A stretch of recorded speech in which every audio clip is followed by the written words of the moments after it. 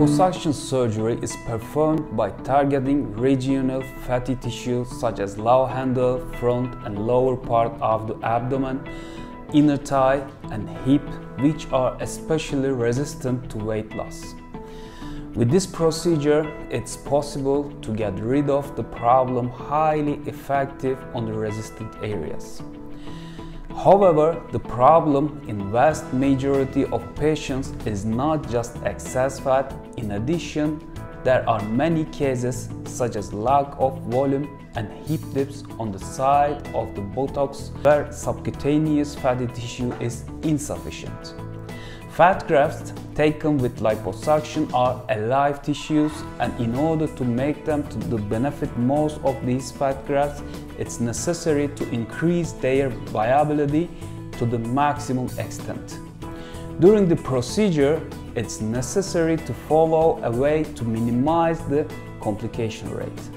We need to make sure that the injected fat does not enter the muscle providing as much expansion as possible without damaging the skin especially in the hip dip areas and injecting the fat grafts homogeneously under the skin is absolutely necessary.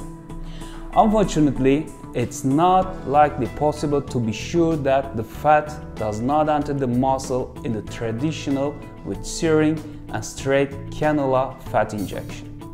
It's not possible to expand the skin sufficiently with arm force without damaging the skin and there is no chance to inject the fat grafts in a completely homogeneously way.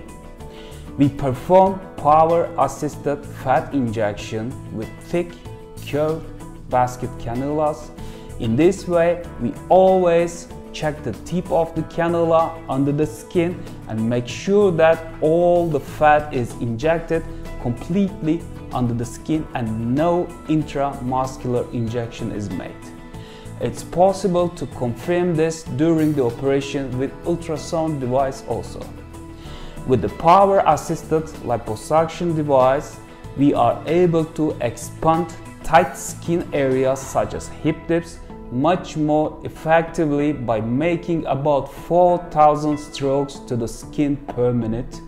Apart from this, we can inject fat grafts homogeneously by making much better fat equalization with a device that makes 4000 strokes per minute.